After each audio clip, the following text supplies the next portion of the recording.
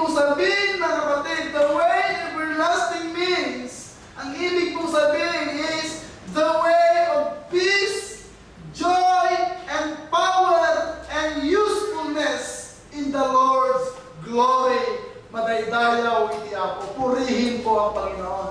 Amen! And the everlasting means, hindi na po ngayon, kundi sa pangwalang hanggang buhay, mga kapatid ko kay Kristo. So are you willing to pray like the prayer of David right now? Amen. Amen. So hinihiling ko po na tayo po ay tumayo at tayo po ay manalangin. Gusto ko pong ipaalala sa inyo, mga kapatid. Sana napakinggan po natin ang mensahe ito.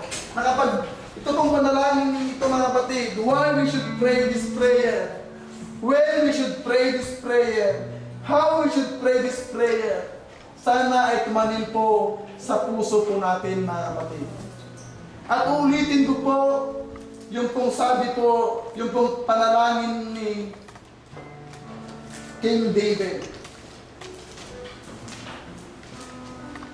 At gusto ko pong pagbulay-bulayan natin ito pong panalangin ni David.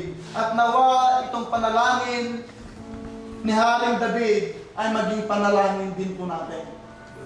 Huwag po tayong magpaka-plastic sa Panginoon. Kilala tayo ng Panginoon anuman ang ginagawa natin. Even our hidden sin, na tayo lang ang nakakaalam, alam yan ng Panginoon. At kung gusto mo magpahalughog sa Panginoon, ma- dapat kang maging sincere para magpahalughog sa Panginoon. Like this prayer. Ang sabi po ng prayer David, Siyasatin mo ako, O Diyos, at alamin mo ang aking puso. Subukin mo ako at alamin ang aking mga pag-iisip. At tignan mo kung anong anong kung may anumang lakad ng kasamaan sa akin. At patnubayan mo ako sa daang walang hanggan. So beloved brothers and sisters, napakaganda po ng mga inawit natin kanina. Nasabi ko ng kanta, puso ko'y linisin mo, O Diyos. Alam ko mga kapatid, marami po tayong nagagawang hindi ba maganda sa Panginoon. Sabi ko nga, andito na rin tayo, seryosuhin na natin. So kailangan po natin magpasaliksik.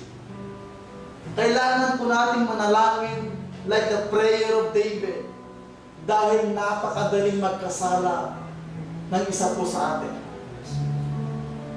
Napakadali po natin maging kritiko. Napakadali magkasala kapatid. Pero kailangan po natin, kung gusto po natin makuha o makamit ng walang hanggang buhay, kailangan po natin sabihin natin, Lord, ransack my life. Lord, halugugin mo ang buhay ko, Panginoon. At kung may makita kang kamalian sa puso ko, patawarin mo ako, Panginoon, at inisip mo. Amen! Hinihiling ko po na tayo po yung ko.